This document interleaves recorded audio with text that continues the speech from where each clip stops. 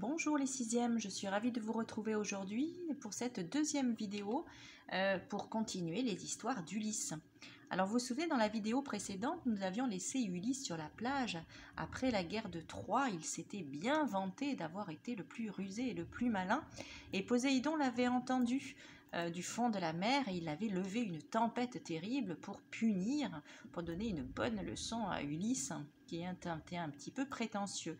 Et Ulysse va donc être, les, les bateaux d'Ulysse vont être détournés de leur route et vont remonter vers le nord au lieu de partir ici vers la Grèce. Ils vont remonter vers le nord et arriver de chez le peuple des Sicones. Alors les Sicones ou les Kikones, hein, selon, euh, selon, les, euh, selon les écritures, on ne sait pas bien comment, euh, comment cela se, se, peut, se, pouvait se dire. Alors chez les Sicones, ils arrivent ici et les euh, Ulysse et ses compagnons sont un petit peu galvanisés par la victoire hein, qu'ils ont remportée à Troie.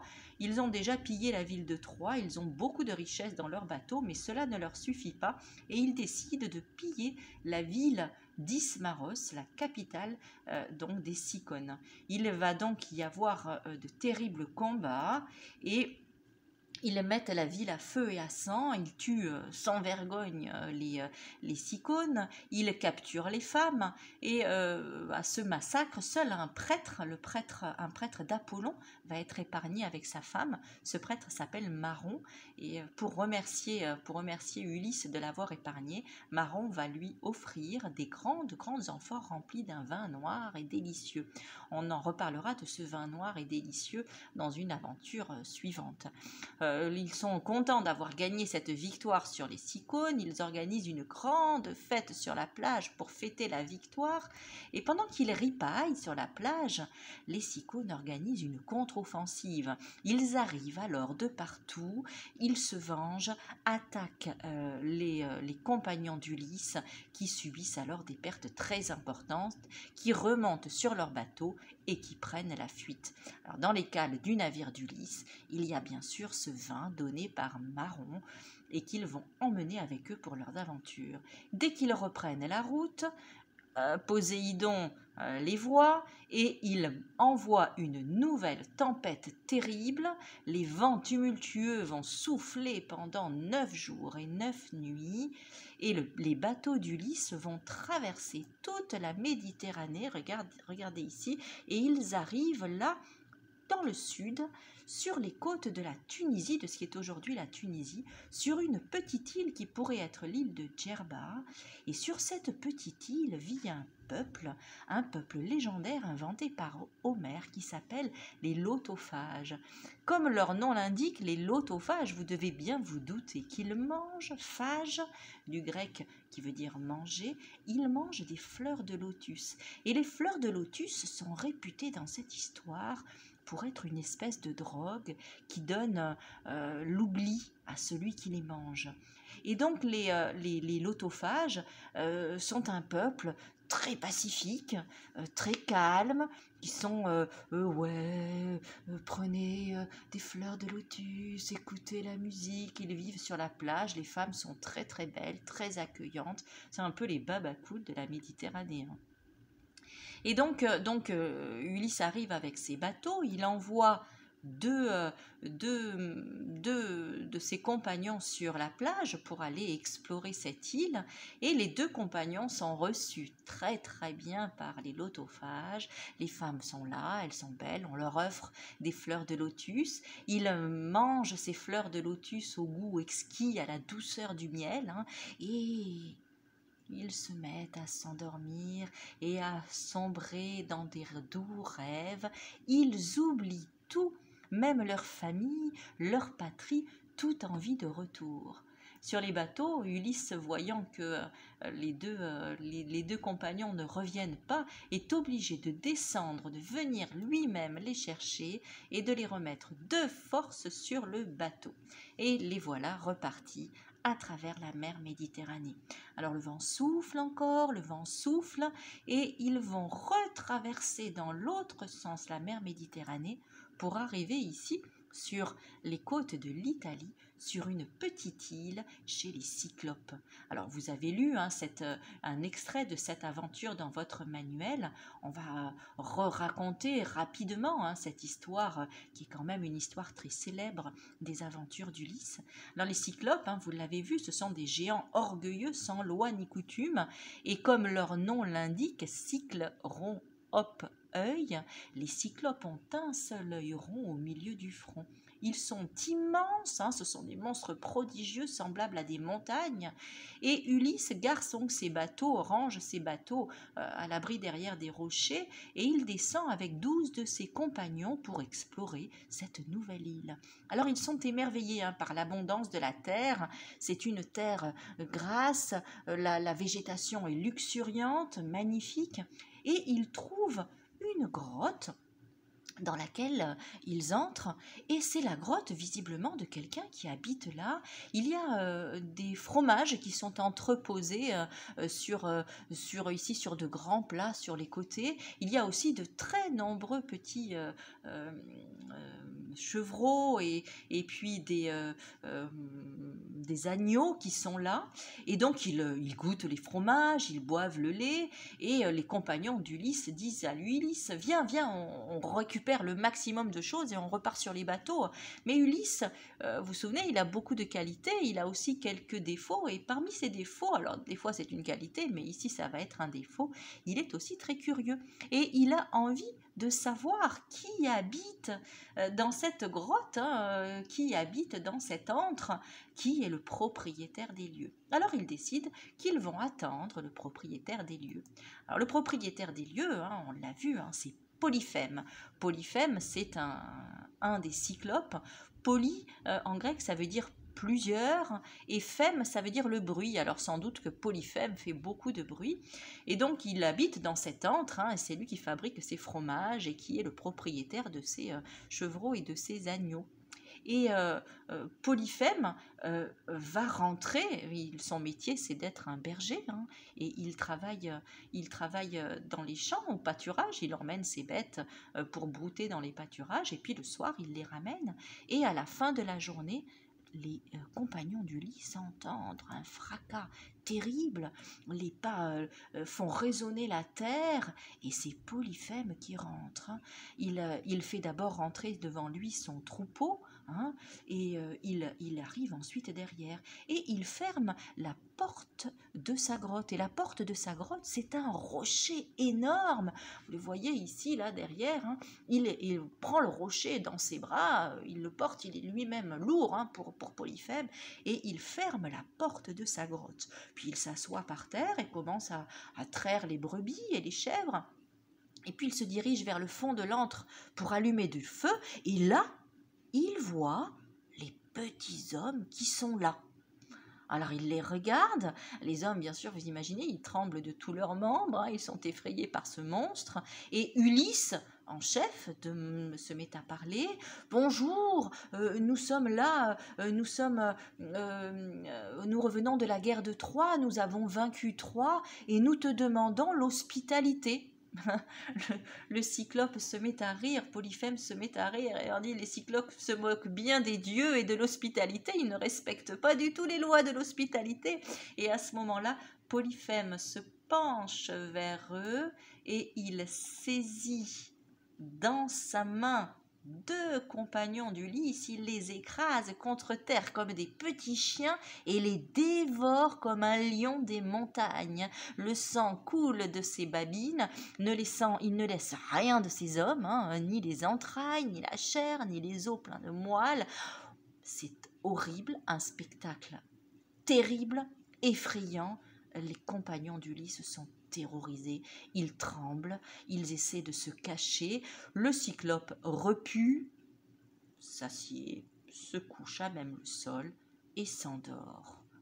Pendant la nuit, euh, Ulysse et ses compagnons essayent de se sauver, mais ils sont incapables de boucher le rocher qui, euh, qui bouche l'entrée de la grotte. Ils sont bel et bien pris au piège, prisonniers de cette grotte.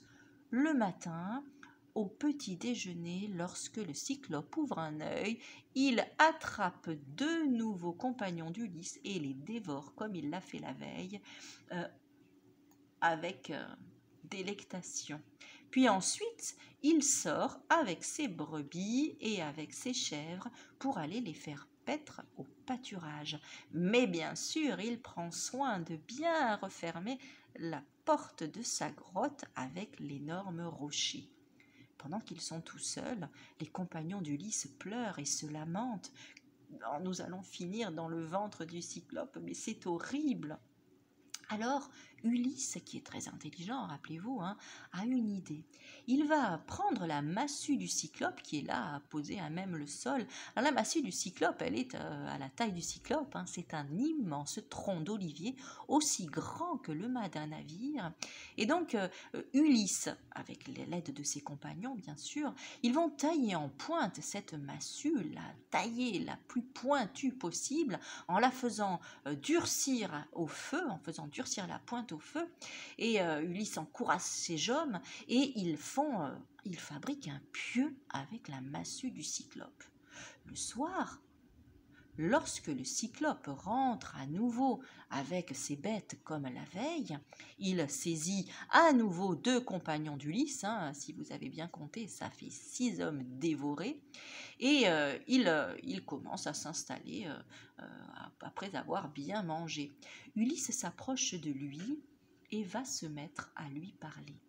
Il va lui expliquer et lui dire Cyclope, euh, je voudrais t'offrir en signe de paix et pour essayer de t'amadouer un peu de ce vin que nous avons apporté avec nous et que nous pensions offrir en cadeau à ceux qui nous offriraient l'hospitalité. Ce vin nous vient des Cyclones, c'est un vin noir et délicieux, et nous aimerions bien que tu le goûtes. Le cyclope dit D'accord, allez, vas-y, fais voir ton vin. Et il commence à boire un verre, puis deux, puis trois. Le vin est très puissant, très fort en alcool, et rapidement, le cyclope euh, commence à être ivre, la tête lui tourne, il en demande encore, et il demande à Ulysse, il lui dit Dis-moi, petit homme, quel est ton nom, et je te donnerai un cadeau pour m'avoir fait euh, euh, pour goûter ce vin délicieux. Ulysse lui répond Je m'appelle personne. Personne, tel est ton nom. Oui, oui, c'est bien personne, mon nom répond Ulysse. Eh bien, personne, pour te remercier, je te mangerai en dernier. Il tombe à la renverse, emporté par l'ivresse et par le sommeil, et de sa gorge, imaginez, ces dégoûtants jaillissent du vin et des morceaux de chair humaine qu'il vomit pendant qu'il dort parce qu'il est ivre. Pendant qu'il est là, au sol, à vomir, Ulysse et ses compagnons qui restent mettent le pieu dans le feu et le mettent à rougir. Puis ensuite, ils le portent à plusieurs, vous le voyez ici, et ils s'approchent de, de, Polyphème qui est endormi sur le sol, et ils plantent le pieu dans l'œil du cyclope. Le sang chaud se met à gicler. On entend, vous savez, comme quand on met euh, quelque chose de très chaud dans du froid, on entend un grésillement, ça fait de la vapeur s'élève de l'œil du cyclope qui, vous imaginez, se met à hurler de douleur. Il en a qu'un, le pauvre deuil, il est donc aveuglé. Il hurle, il hurle, il hurle. Et euh, un peu plus loin, dans les autres grottes, ses autres compagnons les cyclopes l'entendent, ils arrivent en courant, il dit Polyphème, Polyphème, qu'est-ce qui t'arrive? Est-ce que tu es attaqué? Oui, oui, on m'attaque, on m'attaque. Qui t'attaque? Qui t'attaque? demandent les autres cyclopes. C'est personne, c'est personne les autres cyclopes se regardent et disent bah, si c'est personne, hein, pourquoi tu nous appelles? C'est personne qui m'attaque. Oui, bon bah ok, hein, il a dû boire un peu trop. Euh, euh, bon bah il rêve, il fait un cauchemar. Oh là là, il nous a tous réveillés pour rien et ils repartent dans leur grotte. Et le lendemain matin, lorsque l'aube aux doigts de rose se lève, le cyclope Polyphème est aveugle. Il est aveugle, mais il est bien obligé de continuer à travailler parce que ces animaux vont mourir si jamais ils restent dans la grotte, et il doit bien leur ouvrir pour leur permettre d'aller se nourrir. Il ouvre donc la grotte, mais il s'assied en plein milieu, hein, sur le passage, dans l'espoir d'attraper les hommes qui voudraient sortir avec les brebis. Il est tâton, donc il tâte un peu partout. Alors Ulysse, vous vous souvenez, est très malin, il a attaché les béliers trois par trois et ses hommes sous le corps des béliers. Ça fait que lorsque le cyclope veut tâter le dos des béliers, il ne peut pas les toucher, et même sur le côté, comme les béliers sont très serrés, il n'imagine pas qu'il y a des hommes au milieu, et sur les côtés, il n'arrive pas à les toucher non plus. Alors si Ulysse a gardé pour lui le bélier le plus grand, hein, le chef du troupeau, et il s'accroche à la laine du bélier sous son ventre, mais il est très très fort, Ulysse, hein, très très musclé, hein, mais imaginez-vous, hein, accroché euh, sous, sous, la, sous l'animal comme ça, et à la force des bras, il réussit avec les abdos à rester ses jambes droites, et donc il sort comme ça, il sort le dernier, le gros bélier de la troupe, et euh, Ulysse est un peu effrayé parce que Polyphème le caresse et lui dit « Oh toi, tu es bien avec moi, tu, tu, tu souffres avec moi, n'est-ce pas, mon bélier préféré, mon chef de troupe ?» Et ils réussissent comme ça tous à sortir du, euh, à sortir de la, de la grotte. Alors il court, il court, il court, hein, il, ne reste plus que, vous vous souvenez, ils étaient 12, 12 moins 6, 6, plus Ulysse, ils sont 7. Tous les 7, ils courent, ils courent, ils courent euh, vers l'endroit où ils ont laissé leur, leur, petite barque, ils remontent dans la barque, ils, ils retournent vers leur grand bateau, ils montent dans le bateau, et à ce moment-là, le cyclope se rend compte, Polyphème se rend compte qu'ils sont partis, il court derrière eux, mais c'est trop tard, ils sont déjà montés dans le bateau. Mais Ulysse est encore très très fier, et lorsqu'il est dans son bateau, il crie Polyphème, tu pourras raconter partout que c'est Ulysse qui, grâce à sa ruse et à son intelligence, t'a aveuglé et t'a vaincu. Ulysse d'Ithaque, Ulysse, euh, celui, le dévastateur de citadelle, celui qui a vaincu à Troie. Rappelle-toi pour cela et parle de moi partout où tu iras. Et euh, euh, Polyphème est très en colère. Et lorsqu'en plus il entend Ulysse se, vanter comme ça, ça décuple sa colère, il arrache des rochers à ses pieds, il lance ces rochers vers le bateau. Les compagnons d'Ulysse lui disent mais arrête, arrête de parler, tu vois bien que tu attises sa fureur. Et, Ulysse continue, je suis Ulysse, Ulysse, Ulysse. Et donc euh, Polyphème envoie, les rochers, ça provoque des vagues, le bateau, les bateaux reviennent en arrière, ils repartent, ils rament, ils rament, ils ils repartent. Bon, enfin bref, Ulysse et ses compagnons réussissent quand même à échapper aux vagues de Polyphème. Alors Polyphème se tourne vers la mer et il hurle sa détresse. Je suis ton fils, Poséidon. Entends-moi, Poséidon aux cheveux blancs. Je suis ton fils et si tu te glorifies d'être mon père, accorde-moi la vengeance. Que Ulysse ne retourne jamais chez lui et si cela doit se faire qu'il y retourne seul sur un navire étranger après avoir souffert mille maux. Poséidon entend son fils, il avait déjà des raisons d'être en colère contre Ulysse, et vous comprenez bien qu'à présent il en veut à mort à Ulysse. Ce n'est plus une petite leçon qu'il veut lui donner, mais c'est la leçon de sa vie. Il veut le tuer. Alors le bateau, les bateaux repartent ils vont euh, euh, pour un temps être euh, échappés un petit peu à la colère de Poséidon et ils arrivent sur une petite île. C'est la petite île au nord de la Sicile, ici vous le voyez, hein, au nord de la Sicile, c'est la petite île du dieu Éole. Alors le dieu Éole, il vit sur cette petite île parmi les mortels hein, avec ses six filles et ses six fils et il accueille très très bien Ulysse et ses compagnons. Il est bienveillant, il lui offre, il, leur offre, bon alors lui il respecte hein, les lois de l'hospitalité, bien sûr. Il leur offre euh, des repas délicieux, une grande table garnie de fruits et de, et de mets incroyables. Hein. Et euh, euh, Ulysse et ses compagnons vont rester là un mois à être bien traités et heureux. Au bout d'un mois, il faut bien sûr repartir vers la Grèce et vers Ithaque. Et Éole va faire un cadeau à Ulysse. Il va lui remettre une outre faite dans la peau d'un bœuf de neuf ans, et dans cette outre il a enfermé tous les vents mauvais, tous les vents tempétueux qui provoquent les tempêtes, et il attache solidement cette outre au mât de la nef avec une corde en argent. Il lui dit Tu peux rentrer chez toi. Il envoie seulement un calme zéphyr pour mener Ulysse et ses compagnons vers Ithaque.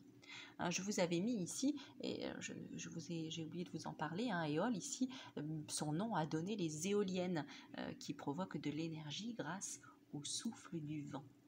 Alors les voilà partis, ils vont ils vont commencer à, naviguer pendant plusieurs jours et donc ils repartent, hein, ils font le tour de la Sicile et le vent, le doux zéphyr va les emporter comme ça jusque vers la Grèce. Pendant plusieurs jours et plusieurs nuits, Ulysse tient la barre de son bateau, mais au bout d'un moment, celui qui est au devant du bateau commence à crier Terre, terre, on voit Ithaque, regardez Et tous les compagnons d'Ulysse commencent à pleurer, pleurer de joie. Vous, vous pensez bien, ça fait dix ans qu'ils n'ont pas vu leur femme, dix ans qu'ils n'ont pas vu la terre de leur patrie. Ils vont enfin retrouver les leurs, retrouver leurs enfants, retrouver leurs amis, et donc ils sont tellement heureux d'arriver. Ulysse est heureux, Ulysse pense à Pénélope, Ulysse maintenant qu'il est calme et que son histoire est finie, s'endort.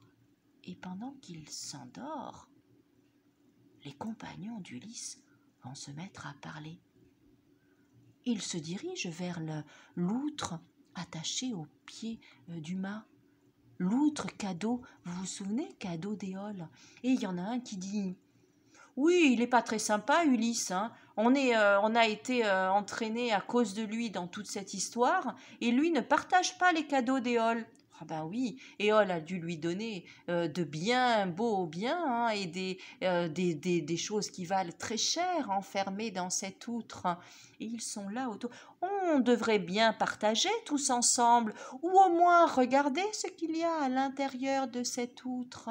Et les compagnons jaloux vote et décide d'ouvrir un tout petit peu la corde en argent pour voir à l'intérieur de l'outre les cadeaux qu'on que des éoles a donnés.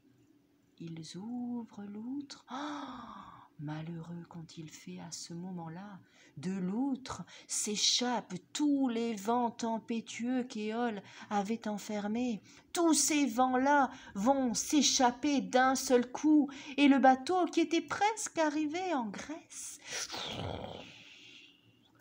repart en arrière. La mer se déchaîne, une tornade terrible euh, autour du bateau et le bateau repart en arrière et repart chez Éole.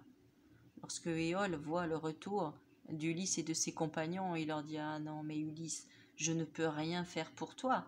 C'est que tu as contre toi des dieux bien plus puissants que moi. Je ne peux rien pour toi et je ne peux plus t'accorder l'hospitalité. Retourne, retourne sur la mer, tel est ton destin. Et Ulysse reprend la mer avec ses compagnons. Alors ils vont arriver sur le nord de la Sardaigne, ici, chez les Lestrigons. Les Lestrigons, ce sont des, euh, des géants agressifs et meurtriers. Ulysse envoie trois hommes en reconnaissance qui se font directement massacrés par les Lestrigons, qui arrivent alors par milliers et qui se mettent à jeter des rochers sur les bateaux d'Ulysse. C'est un véritable massacre. Ils prennent même des harpons et harponnent les hommes comme des poissons pour les manger. Euh, euh, tous les hommes vont périr pendant cet épisode terrible. Un seul navire parvient à s'échapper. Heureusement, c'est celui sur lequel se trouve Ulysse et tout et tous les autres hommes vont mourir. La malédiction des dieux est atroce, c'est terrible. Ulysse est maintenant n'a plus maintenant qu'un seul bateau. Ils vont voguer, voguer et arriver sur une petite île ici près de l'Italie, chez Circé. Alors celle-là, vous, vous l'avez lu aussi, vous avez lu aussi un, un extrait de, cette, de cet épisode chez Circé. Circé, c'est la fille de Hélios, le dieu soleil. Et c'est une sorcière qui déteste les hommes. Son île s'appelle Ééa. Ulysse, lorsqu'il arrive sur, sur le, sol, hein, sur, cette, sur cette île, va partager sa troupe en deux et la moitié va partir en exploration de l'île, sous le commandement de politesse. Donc ils vont partir, ils explorent, et dans la forêt luxuriante, au cœur de la forêt, ils vont découvrir une demeure somptueuse. C'est la demeure de la magicienne Circé. Ils entendent sa voix mélodieuse, car elle chante dans son magnifique palais. Ils sont attirés par cette voix Autour de cette habitation, c'est extraordinaire, rôdent des loups, des lions, des bêtes sauvages. Mais tous ces animaux semblent comme apprivoisés, et ils se dressent sur les pattes arrière pour saluer les visiteurs.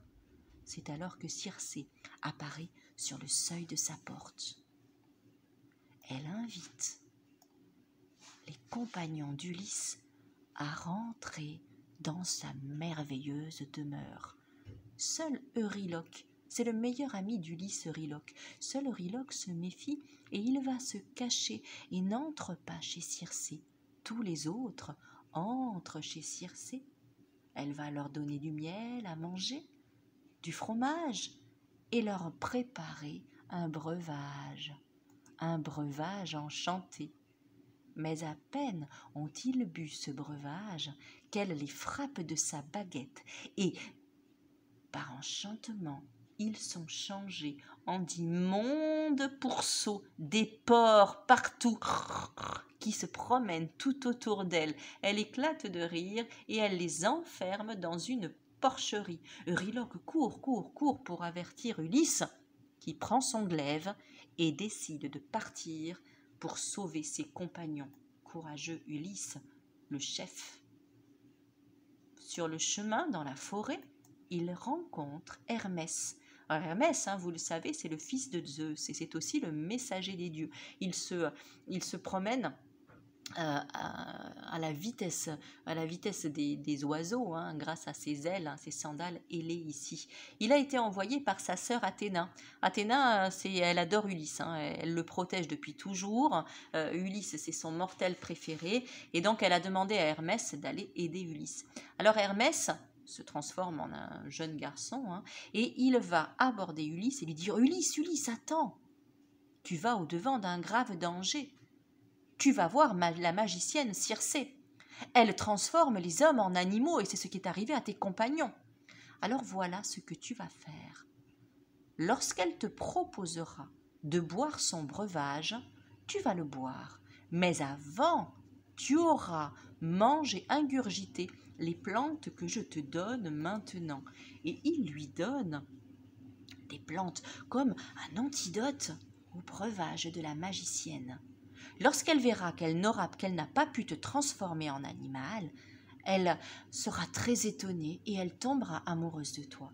Aussitôt dit, aussitôt fait, Ulysse arrive chez Circé, et lorsque elle l'invite chez, chez elle, il se laisse faire. Elle lui prépare son breuvage enchanté. Vous reconnaissez ici le tableau que vous avez étudié en histoire des arts sur votre manuel.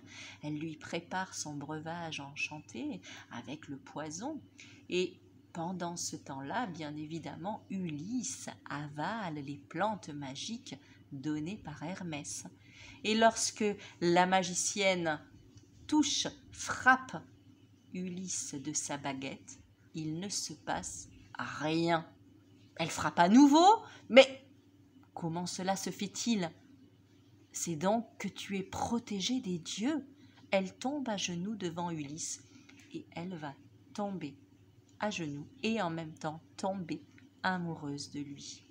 Ulysse euh, va, va, menacer de la tuer, euh, elle demande grâce, et il va demander euh, qu'elle retransforme tous les compagnons qui vont être sauvés, remétamorphosés en hommes. Ulysse va passer un an, un an sur l'île de Circé, un an d'amour avec Circé. Il oublie presque Pénélope, hein, restée à Ithaque. Ils vont, euh, certains poètes racontent même qu'ils ont eu un fils, Ulysse et Circé. Et au bout d'un an, quand même, Ulysse pense à Pénélope et elle lui manque, et il veut revoir la terre de sa patrie, et il dit à Circé qu'il est temps pour lui et pour ses compagnons de partir. Circé est très triste. Elle lui dit Ben, écoute, si jamais c'est ça que tu désires, d'accord, repars. Mais avant, Voilà, écoute le conseil que je te donne. Il va falloir que tu ailles consulter un devin. Pour connaître la suite de tes aventures, il faut que tu ailles consulter le célèbre devin Tirésias. Tirésias, on en reparlera la prochaine fois, c'est un célèbre devin qui est capable de prédire l'avenir. Le problème, c'est que Tirésias est mort et il va falloir aller le consulter au royaume des morts. Et dès la prochaine fois, nous nous retrouverons pour raconter la suite des aventures d'Ulysse. À bientôt!